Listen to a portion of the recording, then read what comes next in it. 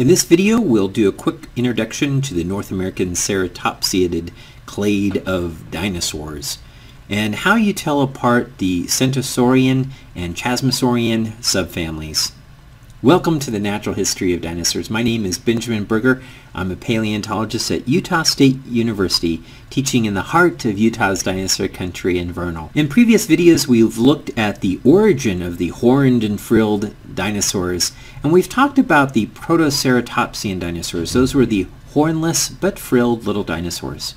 In this video, we'll look at the giants, the large Cretaceous, late Cretaceous ceratopsian dinosaurs which are grouped into two subfamilies called the Centrosauridines, these are the short-frilled dinosaurs, and the Chasmosauridines, these are the long-frilled dinosaurs.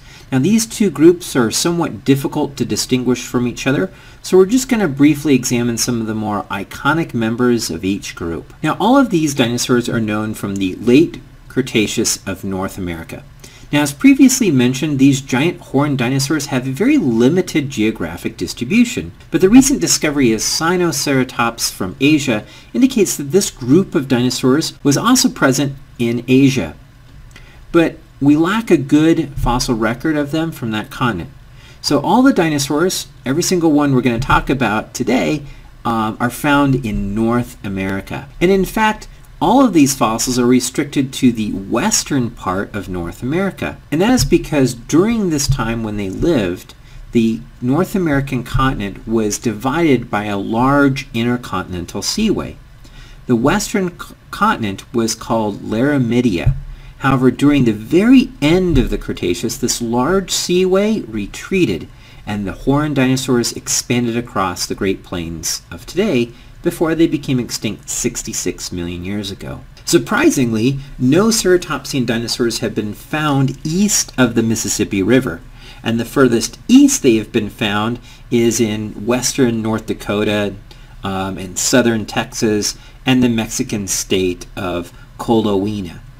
But it is in Canada that most of the fantastic large ceratopsians are known, especially in the province of Alberta. Now first we're going to look at the short-frilled Centrosauridines. One of the most unusual dinosaurs is Pachyrhinosaurus, known from Canada. And it was featured in the recent movie Walking with Dinosaurs. Pachyrhinosaurus is weird in having a bizarre rugose or bony nasal tubercle feature on its nose, which in life likely supported a very large keratin horn. Now, large bony tubercles like this are found in uh, modern and fossil rhinos, which actually support keratin horns. And rather than being composed of bone, they're made out of keratin. This is the same protein that's used to make your fingernails. Now, Peter Dodson and other ceratopsian researchers have speculated that the horns of all of these horned dinosaurs were covered in a keratin sheath, much like the bony horns that you see in American pronghorn antelopes. Now, for whatever reason, uh, Pachyrhinosaurus retained the horn, but it reduced the component of the bony core of that horn. In the movie, they made them strangely hornless, I guess in an attempt to be sort of conservative. Now, Pachyrhinosaurus was a very large dinosaur. It's about the size of, a, of an elephant. Now, the next dinosaur is one of my favorite dinosaurs. It's the many-horned Styracosaurus. It's another late Cretaceous dinosaur from Canada, and these creatures exhibited many horns that extended off the frill as expanded epoccipitals. Uh, this creature was equally large as Pachyrhinosaurus, and it must have put on a, just an incredible show with all these horns coming off the frill.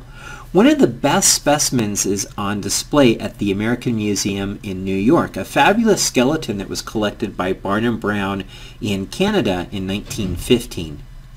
Other specimens can be found in the Canadian Museum of Nature and the Royal Ontario Museum in Canada.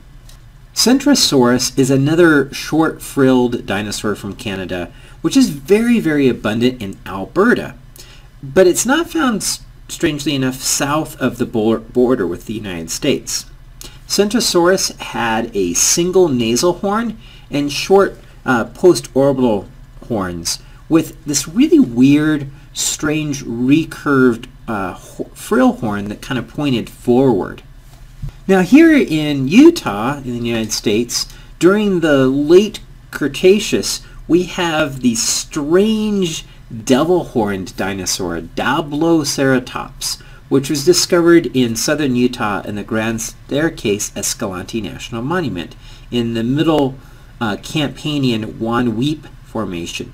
Now this creature had two large post-orbital horns with two large frill horns like a bull, um, but it lacked any uh, a nasal horn. Alright, so now let's look at the chasmosaurid uh, dinosaurs. These are the long frill dinosaurs. Now the iconic Chasmosaurus is another late Cretaceous dinosaur from Canada. It has long frill that was open by a la large or hole or chasm between the squamosal and parietal bones. Yet this, this frill was huge. The horns, on the other hand, are reduced in Chasmosaurus. But you can imagine this creature when it swung its head down and you had this massive skull that measures about a meter and a half. It would be a very impressive shield um, as this opening in the frill would be covered by a thick skin. The texture of known skin impressions indicates that these giants were pachydermal-like, covered in thick rhino-like skin. Another chasmosaurid dinosaur from the late Cretaceous of the United States had larger horns, but retained the large boxy frills.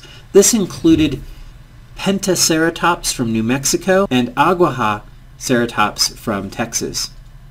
And here in Utah we have Utahceratops, which closely resembles Chasmosaurus with a reduced size of the horns. Now the weird Kosmoceratops, this is another uh, Utah horned dinosaur from the late Cretaceous, has this very weird comb over of the occipital bones along the margin of the frill.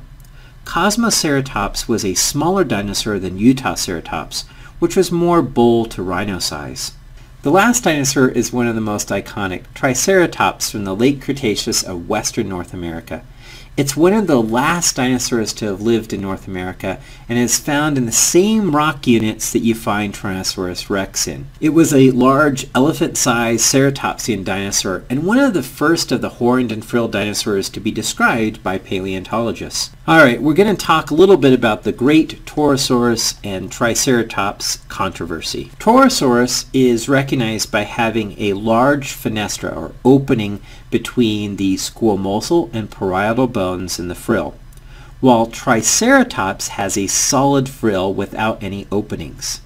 Back in 2009, John Scannella, a student at Montana State, argued that the two dinosaurs were the same genus and that Torosaurus represented older individuals of Triceratops. Now, both dinosaurs are known from similar geographic regions in the American West. And the idea was that the opening represented a large change in the anatomy of the frill late in life. Now the press at that time mistook the argument and they published articles in newspapers and online that Triceratops was no more. This is akin to the famous Dewey defeats Truman headline in the 1948 presidential election because it was Torosaurus which would no longer be a valid name. Now in 2012 a study took a look at this controversy led by Nick Longrich at Yale University. He argued that the two dinosaurs were distinct, and he cited examples of younger and smaller individuals of Torosaurus with openings in the skull, while younger specimens of Triceratops showed a closed skull. The opening of the skull seemed to indicate two separate groups. Now, it remains puzzling why these two really similar looking dinosaurs sh share the same rock layers and uh, geographic region. It could perhaps correspond to sexual differences between male and female individuals. Hmm. Hopefully more specimens will come to light to show the entire growth series of both uh, Triceratops and Torosaurus like we have for Protoceratops.